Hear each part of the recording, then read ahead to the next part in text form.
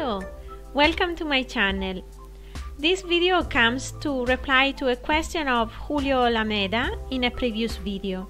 If you too have a question, just leave a comment to this video and don't forget to subscribe to the channel.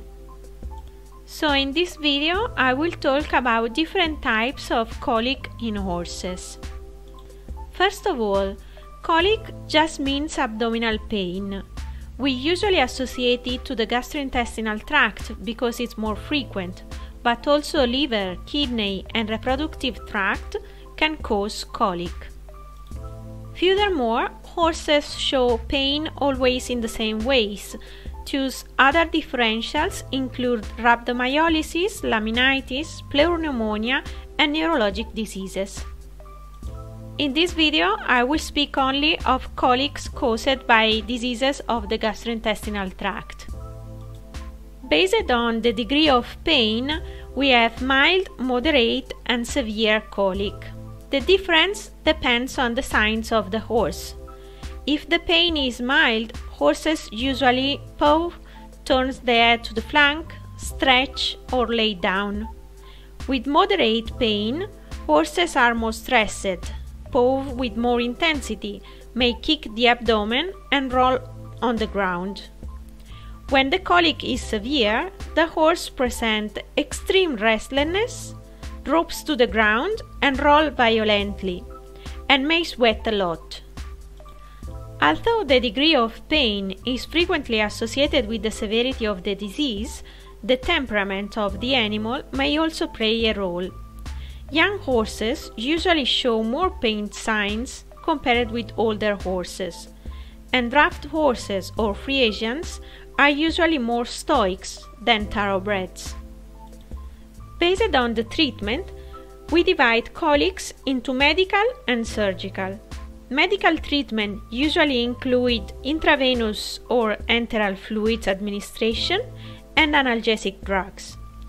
Surgical treatment consists in exploratory laparotomy under general anesthesia. It's not always possible to establish the most adequate treatment since the beginning of the colic signs, as colic is a dynamic process and the gas distension can become a displacement or a torsion with time. Thus, we have to switch from an initial medical treatment to a surgical treatment. Moreover, Depending on the surgical findings, sometimes the postoperative period may require a prolonged medical treatment. Based on the localization of the process, there are colics of small or large intestine. Diagnosis is usually reached combining the findings of rectal exam, ultrasonography, and nasogastric intubation. Based on the pathophysiological process that is causing the colic, there is intestinal dysfunction, displacement, or inflammation. Dysfunction means that the intestine is not working properly, for example, in spasmodic colics, impactions, or ileus, that it's a lack of motility. These types of colic can usually be managed with the medical therapy. With displacement, a portion of the intestine changes position, and this can affect both small intestine with volvulus, intussusceptions, entrapments, or lipomas, and large intestine with large colon displacement and torsions. Intestinal inflammations include gastritis, gastric ulcers, enteritis, and colitis, so any inflammatory process of one or more segments of the gastrointestinal tract. Another way to classify colics is based on the consequences on the intestine. So we can have lumen obstruction, ischemia, or inflammation. If there is only obstruction, vascularization is not compromised, so the horse is metabolically stable.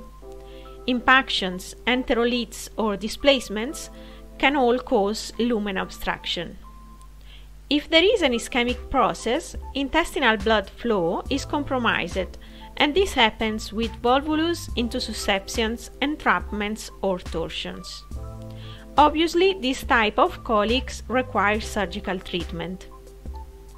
And as with the previous classification, within intestinal inflammation, we include gastritis, enteritis, and colitis. Well, I hope that it was clear. See you in the next video. Bye!